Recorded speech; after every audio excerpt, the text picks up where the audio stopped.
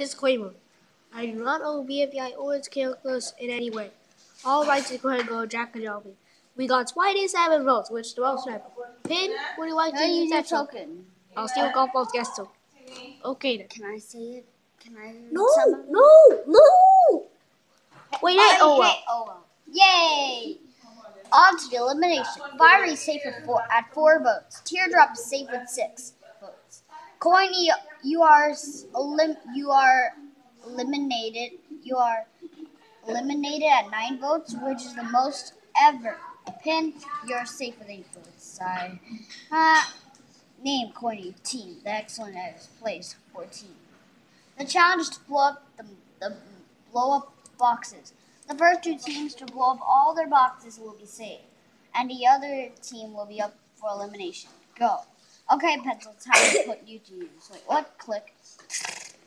Terrific tacos are saved. The explosion blew me up. My feet. Click.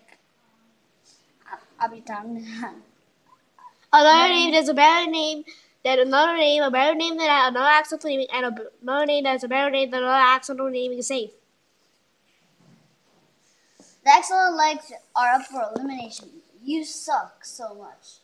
Pencil gets a preserve token for getting the taco safe first.